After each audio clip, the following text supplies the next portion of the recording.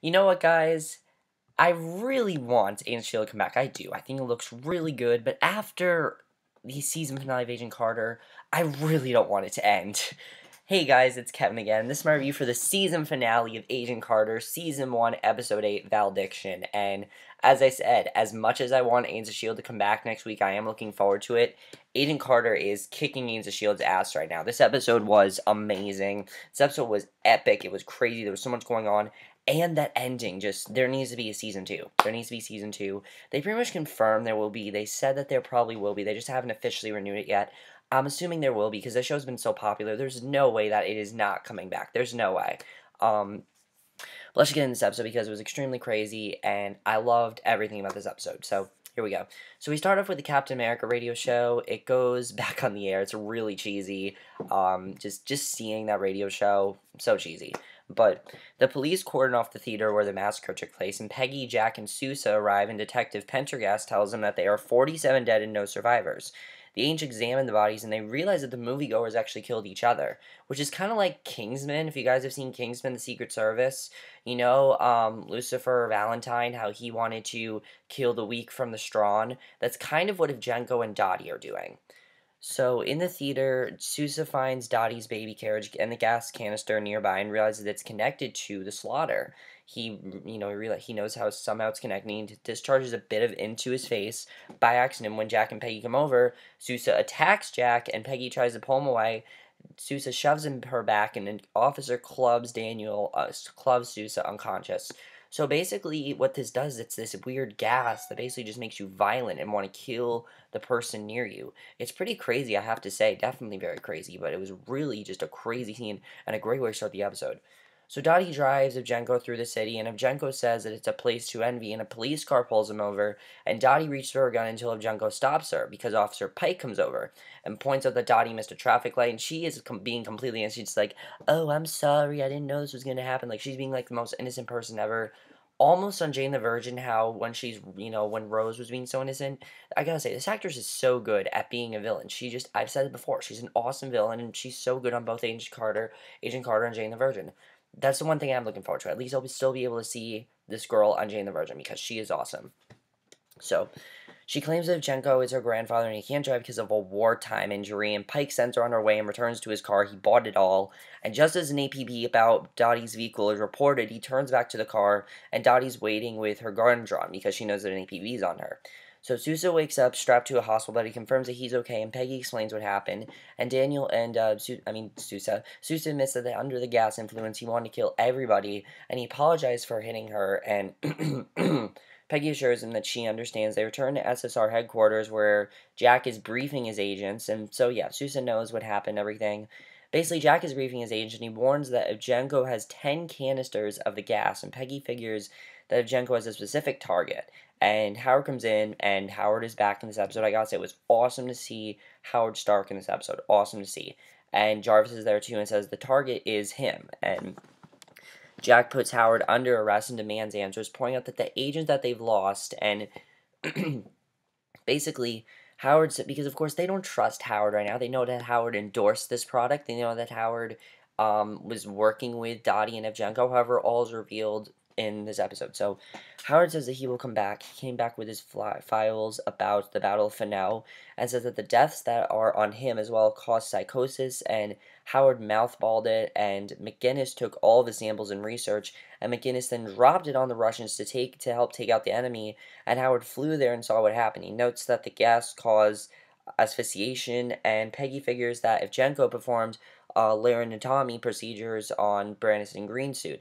Evgenko is actually jo- Johann uh, Fennhoff, who is an expert in hypnosis, which explains why Evgenko is so good in, hypnos- in hypnosis, because his name is actually Johann Fennhoff. So they figure that's how he got to Roger, and who we actually don't see in this episode. That was really my only complaint about this episode, is that we did not see Roger.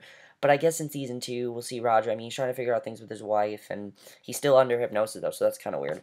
So Howard says that he'll be the bait because if Evgenko wants him, and Jack agrees and says that they need some public, something public. So Dottie drives to a private airfield as Dottie deals with the with the crown with the ground crewman in charge, and the radio announces that Howard is in New York announcing a major breakthrough in the case of her missing technology. And when Dottie returns, Evgenko tells her that a new opportunity has arisen and they're going back to New York. So that was really interesting. So Howard is busy prepping for his speech when Peggy comes in with bulletproof armor. He dismisses it as junk. It's kind of a funny scene. He has Peggy taken to the lab to get his weapon technology. She wonders what he hopes to accomplish. And Howard points out that there's no other way to lure Evgenko out. And when Peggy wonders why he's risking his life, Howard says he's trying to redeem himself after what she said to him, uh, after what she said about him. So I like that he is doing that because he should be trying to redeem himself. I mean, especially the whole thing with Steve's blood and how he knew where Steve's blood was and how upset that made Peggy. She's still kind of irritated. She goes out and Howard follows her after grabbing the ball holding the sample of Steve's blood. And the SSR holds a public press conference, and Jack declares Howard innocent of all charges because he is innocent. And Peggy's nearby looking for Evgenko, while Howard prods Jack into calling him a hero. Howard speaks up to speak, and someone takes a shot at him. Jack pulls Howard down, while Sousa and Peggy place the shots from a nearby hotel. And Jarvis takes Howard to a police car and has the officer inside take Howard to SSR headquarters.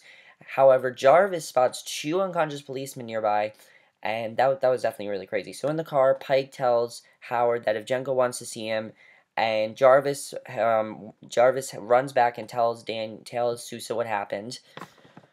So Peggy and Jack break into the hotel and find an automated rifle set to fire in Howard's direction. So basically, Evgenko set up a trap to kill Howard, and she realized that the gun was designed to miss, and the whole thing was actually just a diversion. So they basically just went through that whole thing for nothing. So Sousa calls on the war on the radio to warn his fellow agents that Howard has been abducted and he's been kidnapped, and Howard tries to bribe Pike, but he doesn't respond. So as they leave, Peggy figures that if Evgenko has a fate worse than death planned, and when she said them, like, he's gonna hypnotize him. That's what he's gonna do, because that's what Evgenko's doing to everyone. He's hypnotizing them to make it seem like they're on his side. So Jack says that the theater was a test and wonders why they would go that after that is bigger, and soldiers walk past in the street, and Peggy realizes that it's VE Day, which of course is the day where everyone's going to go crazy and all this mayhem's going to happen, kind of like Kingsman, as I said. So if Evgenko plans to hit Times Square, and Dan and Sousa and and Jarvis find Pike's car and discover that he's actually dead at the wheel, and there's no sign of Howard. So they have no idea where he went. So uh, Sousa and so basically Evgenko drives Howard through the city while Dottie holds a gun on him in the back seat, and she says that they spend a nice weekend together and then pistol whips him.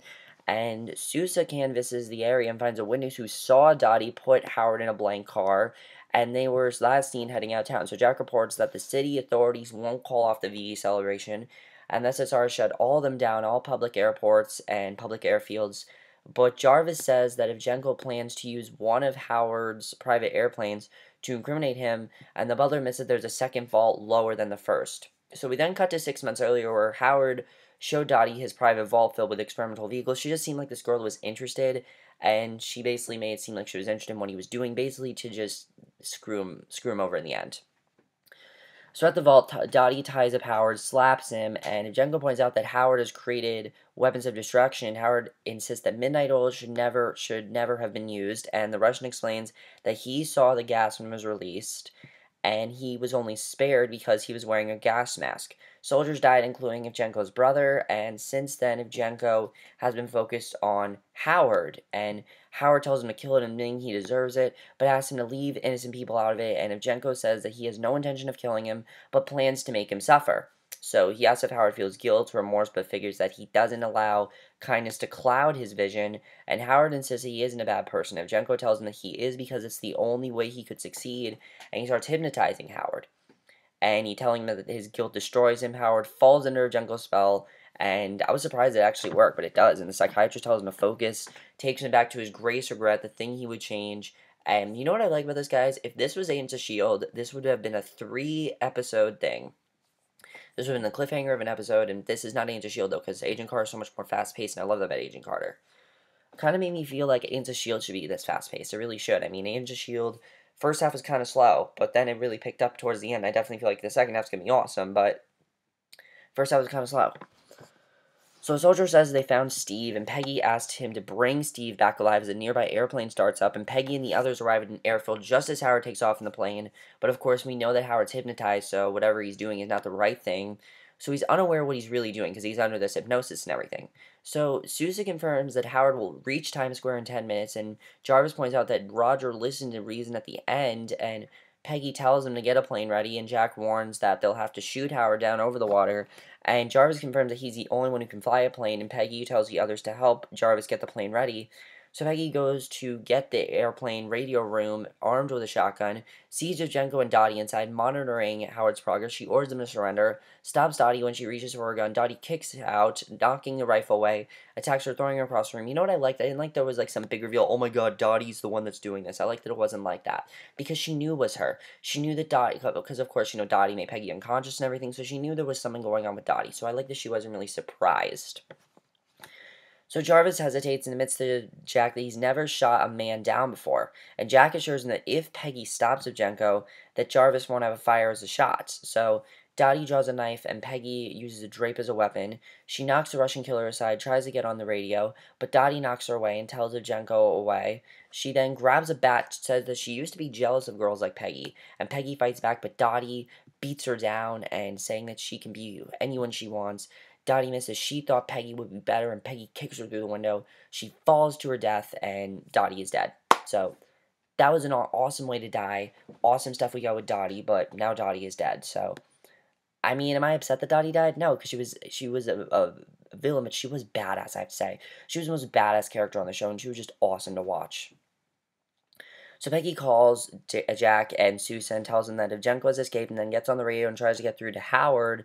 He insists that there are no civilians where he is, and Jack searches the hangar and hears someone ahead. So he advances carefully, finds discarded spanner, and Evgenko clubs him unconscious from behind. I have to say, I thought Jack was going to die in this episode. I do have to say that. I thought Jack or Sousa um, or Jarvis, one of them were going to die in this episode because just the focus we had on them. Also, I love the rivalry between Sousa and Jack. How when uh, Sousa came out of his um, whole thing where he tried to kill Jack, he's like, I wouldn't, I wouldn't, I don't want to kill him any more than I usually do. so I thought that was really funny. So Sousa orders him to step away or he will shoot, and Evgenko insists that he won't shoot an unarmed man and telling um, Sousa that he's virtuous. And Sousa tries to block his voice, but Jenko offers him to help him overcome his pain and tells him to focus. And I'm like, oh no, Sousa, do not fall for it. I don't don't do this. Don't do this to Sousa. So Howard tells Peggy that Evgenko showed him now to bring how to bring Steve back, and Evgenko continues telling um, Sousa that his coworkers see him as half a man, and he knows how Sousa feels about Peggy, and says they can change that if Daniel if uh, Sousa focuses. So Evgenko tells Sousa to shoot Jack as the agents wake up, and Sousa aims at Jack, who tries to get through to Jack, and Evgenko tells Daniel to shoot him. After after a moment, Sousa pistol whips Evgenko, removes the earplugs that he's wearing, and that was an insane scene when he was about to like shoot Evgenko. That was intense as ever.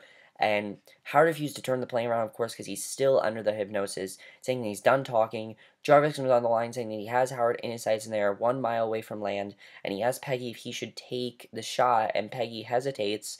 And Jarvis repeats his question, warning that they're out of time, and Peggy tells him to wait until she gives the order. And Howard says that he can see Steve, Steve ahead and he can fix everything. And admits that Project Rebirth was one thing that he's done that has brought good into the world. And Peggy says that she loves Steve and they have to let him go. Howard starts to come out of it, saying that Steve was good before he got a hold of him. He realizes where he is, and Peggy tells Jarvis to bring Howard home. So I'm glad that he got out of the hypnosis because I thought that it was going to be like that the whole episode, but luckily he got out of it, so I was happy about that. So Peggy goes to the hangar, discovers that Dottie is gone, and there's a trail of blood leading away, and Sousa and Jack leave a Evgenko away while Howard complains that uh, Jarvis was going to shoot him down. And Howard thanks Peggy and asks about Evgenko, and Peggy says that they'll find a permanent way to silence him, because they have to find a way to take him down, obviously. So she admits that Dottie escapes, and Howard, and Howard finally remembers the name she was using with him. And because, you know, he didn't remember what it was and everything, so... Come morning, Peggy returns to SSR headquarters, and all the agents applaud her. She's back at SSR. She's not gone from SSR anymore, which is great. And Jack and Sousa ask if she'll be staying with the SSR, and Peggy jokingly says that she just came back to pick up her paycheck. And Senator Walt Cooper comes in to personally command Jack and his team, and he assumes that Jack is responsible. And Jack says that he did what he needed, what needed to be done. Basically, Jack seems like he's going to take over now. It seems like Jack is going to take Roger's place and basically become the head of SSR. So Peggy and J- Sousa look on, and Sousa goes to tell Cooper what really happened, and Peggy says it doesn't really bother her, and she doesn't need anyone else's approval. Sousa hesitates and suggests that they can get a drink that night, and Peggy asks for a rain check, saying that he, she has to meet a friend, and Daniel turns away, and Sousa turns away. And uh, it's kind of sad with Sousa. I mean, definitely, you can tell that Sousa and Peggy, he really does like her, but at this point, that's not what she's focused on right now. So you really do feel bad for Sousa. I personally felt really bad for Sousa in that scene. I'm like, oh, I really want Sousa and Peggy together.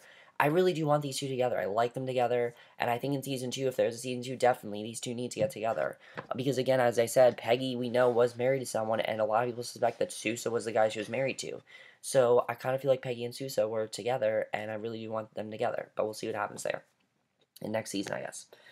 So Peggy takes Angie to, and Angie's back in the picture. Now, I thought she was going to tell Angie what was really going on, but Angie still does not know what exactly is going on here because she takes Andy to one of Howard's private penthouses, and Jarvis tells her that Howard has offered the place to Angie and Peggy for as long as they need a, res a residence. And Angie goes off to call her mother, and Peggy says that Jarvis must be relieved to return to his normal duties, and he admits that he is, but tells Peggy that he'd be honored to assist her, which is great to see. I really do love the team up of Jarvis and Peggy. It's one of my, it's been one of my favorite parts of the show.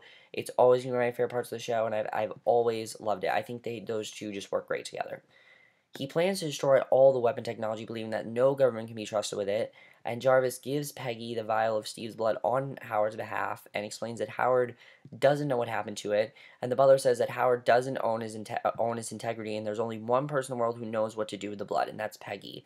And this is such a well-done scene. I mean, just the music that was playing in the scene, you can finally see that Peggy is overcoming Steve's death. All season she's been grieving over it, and she goes to Brooklyn Bridge, pours the blood into the water below. She says goodbye to Steve, and that really starts the next chapter of the show, which is going to be her moving on from Steve. And of course, we know that Steve is alive, but as we know in Captain America Winter Soldier, she moved on without him, and she had all this time without him. So there still is more story to tell there. While it does seem like a good ending, there's definitely more story to tell, especially the end of this episode, which there better be a second season at this part. Because a prison guard leads a gagged Evgenko into a cell. Once he's gone, a man the shadows tells Evgenko that the food is quite good, and it's Arnim Zola. Now, I didn't know too much about Arnim Zola. However, while watching that this episode, I looked up Arnim Zola's name. Turns out that he is one of Captain America's greatest enemies, if not his greatest enemy, and he will take down Captain America, and he's probably to take down Peggy and a bunch of people, so they definitely should be worried. And here's what I kind of feel like is going to happen now. That all the people that Captain America, that were Captain America's villains, are to go against the SSR agents, and if that's true, that's going to be awesome to see. So Arnim Zola steps out of the shadows, assures Evgenko that given a little peace and quiet, new visions will arise, and Zola says that he knows all about Evgenko's work and suggests they collaborate. He hands Evgenko pencil and paper and assures him that he is in an American prison and America is the land of opportunity, and that's how the episode ends. So that was an awesome cliffhanger. We know that Jenko and uh, Zola are going to team up together, and I cannot wait to see what happens next. But I have to say, guys, this episode was absolutely amazing. So much intense scenes. The action scenes in this episode were awesome. I really want to talk about this season overall because I have to say, what did Agent Carter do that Agents of S.H.I.E.L.D. didn't? Well, Agent Carter doesn't have as many characters to focus on. Agents of S.H.I.E.L.D. has many, many characters they need to focus on. It's an ensemble show, and sometimes it can get too much. But Agent Carter never did that. Agent Carter found a way to balance all those storylines out perfectly, which Agents of S.H.I.E.L.D. had a problem with. And I think Agent Carter does that perfectly. They balance out everything really well. They uh, None of the storylines felt rushed or anything. Everything in this episode just worked. Everything was great. Everything was fantastic to see. Seeing uh, Jack and Dan, you know, seeing Jack and Sousa team up, that was that. Seeing Jack and Sousa butt heads, that was really funny to see. Sousa undergoing the uh, Midnight thing, Midnight City, whatever it's called. That was really cool to see. I love the focus we got on Howard in this episode. Definitely feel like we're going to see a lot more of Howard next season. I feel like Howard's going to become a main character after the season because he just had so much focus this season. Um, Jack and Sousa were such great characters. We know anything about them, and they were great characters. My only complaint is Roger. Roger, I think I don't know if he's still under the hypnosis or what he's really doing, but something is definitely going on with Roger. We don't know really what's going on with him. We didn't see anything with him, but I think that Roger's kind of out of the picture now because Jack is the head of SSR. Uh, is Peggy going to stay at SSR? I don't know. I'm assuming she is. Uh, Sousa, I really did feel bad for Sousa in this episode because it really seems like he does want to be with Peggy. So hopefully Peggy does realize that Sousa does want to be with her, but it's going to be interesting to see what happens there. Uh, the death of Dottie I thought was awesome. Great to see Dottie dead, but even though I love seeing her character. Uh, Angie. Does Angie know Peggy's secret? I think she does, but of course, you know, the last time they talked to her about it, she had no idea what they were talking about. So I don't know if Angie knows exactly what's going on with Peggy. I think she has an idea, but I don't know if she fully knows. What do you guys think? Do you think she knows what's going on with Peggy? Is she not telling her that she knows? I don't know. I definitely feel like she has an inkling of what's going on. But I don't think that um, Angie knows the full details. I think she's going to find out more definitely in the next season. We'll see what happens there. Seeing Peggy moving ahead with Steve's blood was so well done. Absolutely love that. All the story arcs this season I absolutely loved. I really this this show got me to care a lot more about Peggy Carter. I cared about her but this show got me to care so much for her, and I really hope it gets renewed for season two. There's no way that's not going to, because I know it's going to, because Marvel does that. Uh, because Marvel actually makes the final decision. I don't know if you guys know this, but even if they don't renew for season two, most likely there's going to be a season two, because Marvel gets to make a decision of do we want to keep this show or not. That's Marvel's thing. Marvel gets to decide do we want to do this, do we want to continue this, because Marvel, of course, this is all connected to the movies. So, how do I feel it's going to connect to Age of Ultron?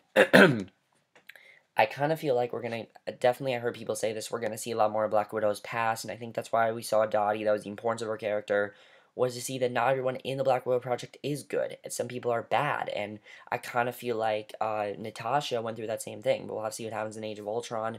Definitely, that's gonna be interesting to see. I definitely feel this is gonna connect to Agents of Shield. Definitely, I don't know how, but I definitely feel like it's going to. Because I mean, we saw Agent Carter. You know, we saw Peggy in flashbacks in Agents of Shield, which really got us set up for Agents of Shield. So, are possibly are we possibly going to see flashbacks from Agent Carter in Agents of Shield? I definitely am interested in see if we're going to see that. That's gonna be really cool to see. If we do, I hope that does happen. Uh, as I said, I really like seeing Jack take over SSR. That was really cool to see. Uh, Jarvis working with Peggy was great. I'm very happy that they're still teaming up because I love those two team up together. They work so well together.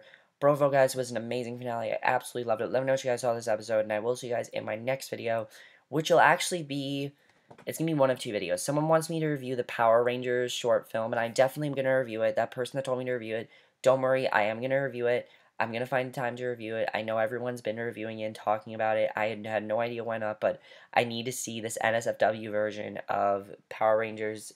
It's probably hilarious, but I definitely need to see it or for my review of just so it's either gonna be for that or for my review of Justified. So I will see you guys for that. Okay, bye. Also, let me know what you guys thought of Agent Carter. Are you gonna miss Agent Carter? Do you want of Shield to start up? I think Agents of Shield looks awesome. I saw the promo for second half of the season. I can't wait for it. But at the same time, I'm really gonna miss Agent Carter. I've had a great time with it. It's been an awesome show. It's always gonna be better than Agent Shield. It's, it's gonna be better than Agent Shield ever will be. It's better than it. It's better than it because here's the thing, guys. Agent Carter was a placeholder for Agents of Shield. That's all it was. It was a placeholder. So they didn't really have to be that good for it to be for us to stick around with it because it was a placeholder. It was so much better than it could have been, and it was so much better than it should have been, because who would have thought that Agent Carter would have been better than of Shield, especially when of Shield had such an awesome finale, and this was better than it. I have to say this was. I don't know if this is better than the of Shield finale, but I still love the show so much more than of Shield. I definitely do. I'm so gonna miss it, and that's why I think Agent Carter just succeeds so well because it was so much better than it should have been, and I think that's why I'm gonna miss it so much because it it it just works so so well, and I loved about the show. That's my review. Hope you guys enjoyed. I'll see you guys in my next video, which will be, as I said, for the Power Rangers short film or for my review Justified. So I'll see you guys for that. Okay, bye.